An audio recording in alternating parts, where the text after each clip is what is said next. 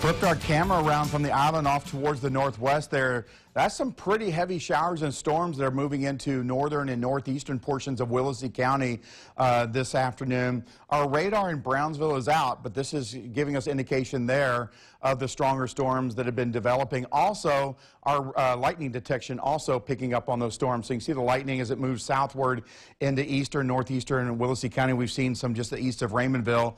And as our cold front continues to drift southward today, that will kick off, I think, a few more uh, until it pushes all the way through uh, by mid to late afternoon or so.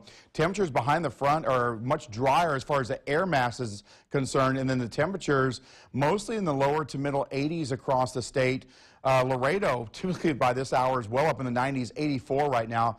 Corpus Christi at 87. So uh, this is an early season front. It's weak, but what it will do for us once it pushes all the way through, the winds will shift to the north, much drier air will come in, the dew points will drop, and tomorrow morning is going to be just a very refreshing start to the day. So Futurecast is picking up on some of those storms trying to make their way through Willacy County.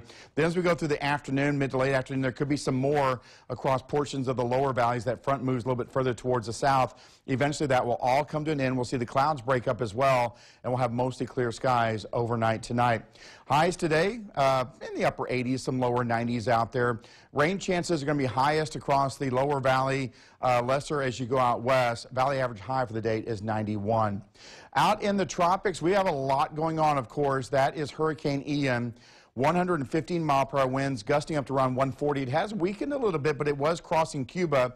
Now it's back over the open waters and a well-defined eye uh, there uh, as it uh, moves off towards the north. And it will be strengthening. This is the radar out of Key West, and it shows those bands wrapping around, going all the way up into South Florida now. The, the conditions in Florida are going to be deteriorating rapidly over the next uh, 6 to 12 hours or so as we anticipate the landfall tomorrow evening.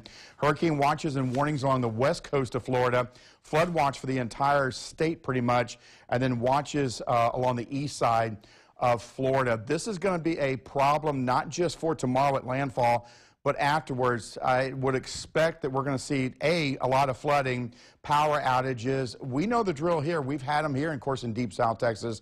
But this one is going to be the strongest, if it makes a landfall near Tampa, the strongest that they have ever seen at the, in the Tampa St. Petersburg area.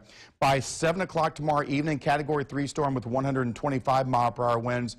It will briefly make it up to Category 4, and then there is Tampa once it makes landfall, it will weaken to a Category 1 storm. But notice the time between 7 p.m. Thursday to 7 a.m. I'm sorry, 7 p.m. Wednesday to 7 a.m. Thursday. It doesn't move very far. So still a Category 1 hurricane expected by 7 a.m. Thursday and that's going to be causing, again, a lot of problems for the north central portions of Florida. Then that system will move off rapidly to the north and become a heavy rainmaker for portions of the southeastern U.S. Here's what our rainfall, one of our computer models, is picking up on uh, forecast rainfall accumulations up to uh, 15 to 20 inches.